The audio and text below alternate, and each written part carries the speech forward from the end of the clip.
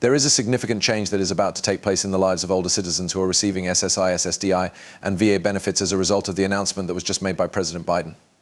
Prepare yourselves for this because there is going to be a staggering increase of $2,400 in the amount of money that you receive from Social Security each month. Imagining that you wake up each and every month to discover an additional $2,400 in your bank account is a dream come true. That is not just a minor increase, it is a game changer for a great number of senior citizens and persons who rely on these benefits to make ends meet. Having more money means having more money to meet important bills such as rent, groceries and healthcare, and possibly even having some extra money to save up for some well-deserved indulgences or to save up for something special.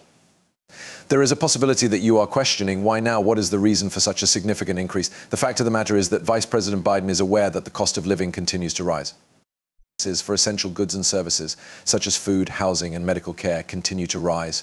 He is concerned about ensuring that our elderly and veterans are not placed in a position where they are unable to meet their basic needs. He is therefore taking action in order to provide them with the assistance they require in order to live with dignity and safety. Last night, President Joe Biden shocked the nation by announcing his intention to provide a raise of $2,400 per month to all Americans who are receiving Social Security retirement benefits, Social Security disability benefits, supplemental security income, and VA disability compensation and pensions. This announcement was made during a primetime address from the Oval Office. In a solemn tone, Vice President Biden stated that for an excessively long period of time, millions of elderly people and people who are afflicted with incapacitating infirmities have lived in poverty and gone without having their fundamental need addressed. That is a tragic situation that we are no longer able to tolerate, given that we are the wealthiest nation in the planet. This is the reason why I am making an announcement tonight regarding the most ambitious initiative ever attempted to provide assistance to the elderly and disabled inhabitants of our nation. As part of his proposal, Vice President Biden proposed that all Social Security retirement retirees receive an additional $2,400 per month in addition to the payments they already receive. When the first of the year 2025 arrives, the retirees will receive an increase of $28,800 per year as a result of this. Individuals who receive Social Security Disability Insurance SSDI, Supplemental Security Income SSI, Veterans Affairs Disability Compensation, and Veterans Affairs pensions would all experience the same rise of $2,400 a month. In the case of a normal retired couple, this will be a game changer because it will put an additional $57,600 in their pockets each and every year. According to Biden, who was greeted with cheers by Democratic members of Congress who were present, the percentage of elderly and disabled people in the United States who are living in poverty will decrease by more than 75 percent as a result of this. More than 5 million households to be entirely lifted out of poverty and at long last make it possible for our citizens to retire with genuine dignity. Republicans who had already voiced their opposition to the proposal, many of whom had already spoken out against it, were directly challenged by the president, who referred to it as unaffordable liberal fairy dust. They were accused of hypocrisy by Biden for their support of substantial tax cuts for companies and the wealthy, while at the same time they took advantage of senior citizens and people with disabilities. So please don't give me all of these stuff since I can't afford it. It is only natural that we have the financial means to finally take care of those who have taken care of all of us.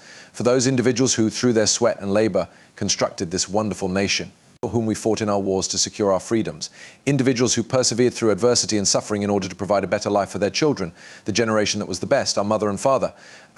We owe our grandparents. They made it possible for us to have everything we have and nothing more. There is a debt that we owe to them to ensure that their final years are not filled with endless sacrifices to get by poverty and misery. It is our responsibility to make sure that this does not happen. Supporters of the idea are ecstatic, claiming that it will be a much needed financial lifeline that has the potential to completely improve the lives of elderly people and those with disabilities. At this time, the average benefit that a retiree receives from Social Security is approximately $1,800 per month. With an additional $2,400, they are able to go from a position that is much below the poverty line to that of the middle class. It is common for people who receive SSI and SSDI to live much closer to the poverty line, which means that the increase may have an even greater impact on them. This literally means that you will no longer have to make difficult choices between the costs of food, rent, utilities, and healthcare. Said Nancy LeaMond, Executive Vice President of the American Association of Retired Persons, AARP. There have been far too many older people in our society who have been suffering in silence for far too long, with their savings depleting and growing bills eating away at their limited incomes. According to every definition of the word, this proposal has the potential to save lives. Similar expressions of relief were heard from disabled soldiers who were finally able to receive the financial support they require and deserve. Far too many of us have been left behind, unable to make ends meet, said Jeremy Butler, Executive Director of Iraq and Afghanistan Veterans of America. After serving our country and being left permanently disabled, we have been left behind. By increasing their benefits, handicapped veterans will be able to move out of poverty and into the middle class. Making it possible for us to concentrate on our family and on enhancing the quality of our lives rather than being always stressed about money. It goes without saying that any proposal of this scope and expected cost raises a great deal of issues regarding the source of the forthcoming funds. During his speech, Vice President Biden presented two key alternatives for Payforce. The first of these is a new tax on the income of billionaires that the president intends to levy at a rate of 25% on all annual income that billionaires make from investments, businesses, and any other sources. The ultra wealthy are already able to avoid paying regular income tax rates on a significant portion of their income, which comes from sources such as investments and business ownership. Instead, paying a lower capital gains tax rate on certain income streams, which can be as low as 15 to 20% of the total income. Biden contends that it is inherently unfair for individuals with billions of dollars and multiple millions of dollars to pay lower tax rates than those who work hard, such as teachers, firefighters, and police officers. The income tax that he proposes for billionaires would impose a flat rate of 25% on all income that is greater than $1 billion, and it would not permit any special exemptions or loopholes. During the process of setting out the justification, Vice President Biden pointed out that billionaires like as Elon Musk and Jeff Bezos can currently wind up paying lower tax rates than many families who fall into the middle class. And it is not merely unethical to do so. The economic system is awful because it deprives the working people, who are the ones who genuinely produce value of their rightful share. There should be no billionaire who is subject to a tax rate that is lower than that of a police officer or firefighter. According to projections provided by the White House, this new tax will bring in more than $1 trillion in additional revenue over the course of 10 years by ensuring that billionaires finally pay their due part. They claim that this is an essential first step toward redistributing a little portion of the wealth that has been increasingly concentrated at the very top of the economic hierarchy and restoring the progressive nature of the tax system.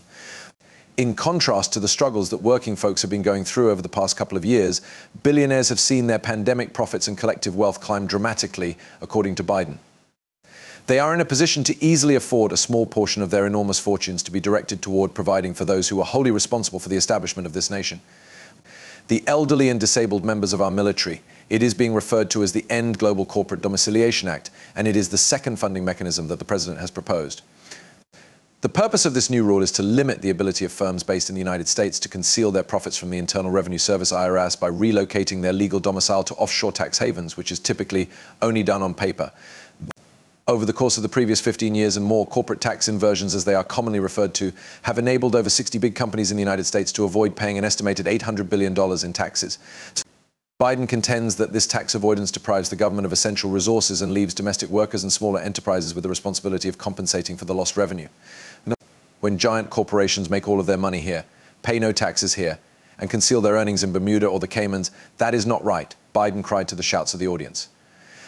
Despite the fact that everyone else is required to pay their fair share of taxes, there is no justification for businesses to continue to avoid paying taxes.